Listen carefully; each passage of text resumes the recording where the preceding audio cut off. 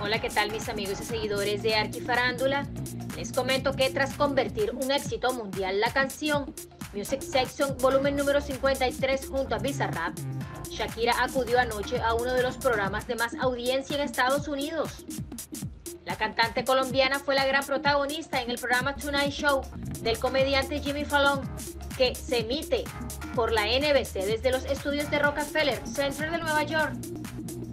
Era la primera vez que los dos artistas concedían una entrevista conjunta y fue también la primera vez que Shakira cantaba su gran éxito en directo.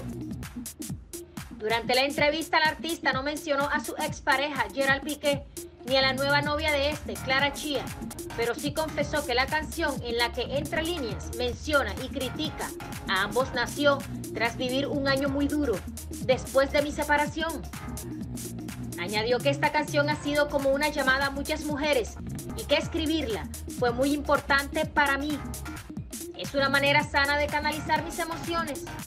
La de Barranquilla reconoció que ahora tiene una hermandad de mujeres que han pasado por las mismas cosas que yo he pasado, que piensan como yo pienso, que sienten como yo siento, que tuvieron que aguantar tanta mierda como yo. Abrumada por la gran acogida que ha tenido la canción, aseguró que la escribió para sí misma, pero pienso que también significa mucho para muchas mujeres que necesitan un foro y una voz en el presente. Fue a principios del mes de junio del 2022, tras los rumores cada vez más insistentes que hablaban de crisis en la aparentemente sólida pareja que formaba con Gerald Piqué, cuando Shakira y el entonces todavía futbolista anunciaron su ruptura con un escueto comunicado fue emitido de forma conjunta a través de la agencia FE.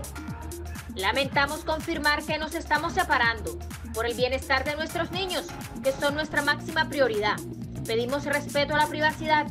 Gracias por su comprensión, rezaba el texto.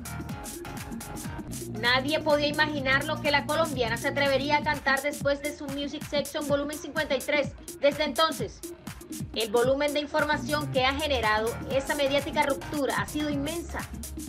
No en vano hemos asistido al aterrizaje de sucesivos y vengativos hits musicales, nuevas parejas en escena, rumores de infidelidad, además de la guerra fría con la familia política de la colombiana.